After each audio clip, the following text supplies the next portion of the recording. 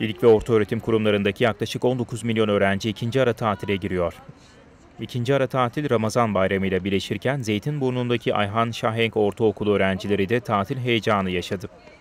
2022-23 eğitim ve orta öğretim yılının ikinci ara tatili başlıyor. İkinci ara tatil 17 ila 20 Nisan'da uygulanacak ve 21 Nisan'daki Ramazan bayramı tatiliyle birleşecek.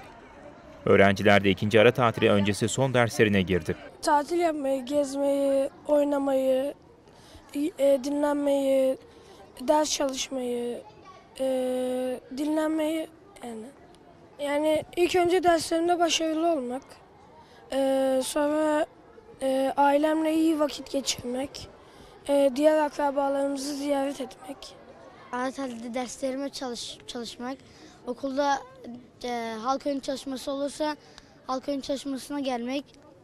Ailemle vakit, vakit geçirmek. Dedemlerde kalmak. Orada da arkadaşlarımla oynamak. En, en fazla halk oyunu çalışmasına gelirim. Kitap okuma yarışmasına katılmıştım. Onun kitaplarını okuyacağım. Bir- Birkaç tanesini de bitirdim. Sonra matematikten geri kaldığım konuları tekrar edeceğim. Türkçeden de aynı geri kaldığım konuları tekrar edeceğim. Diğer konuları zaten biliyorum. Ara tatili ailemle zaman geçirmeyi düşünüyorum. Böyle tatile gitmeyi ya da akrabalarımı ziyaret etmeyi.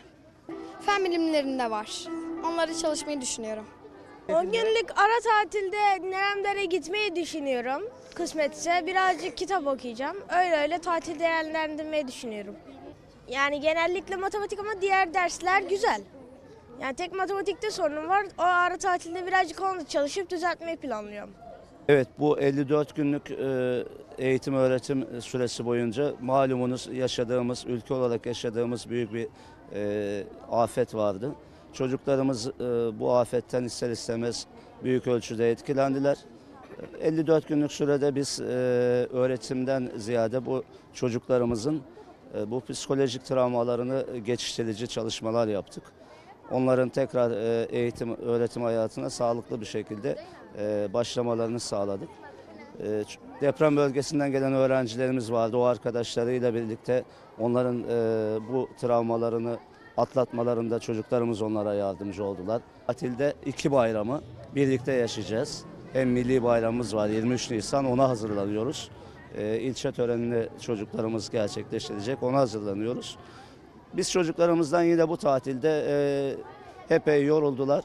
Sadece dinlenmelerini, iki bayramın e, tadını çıkarmalarını istedik. Tamamdır.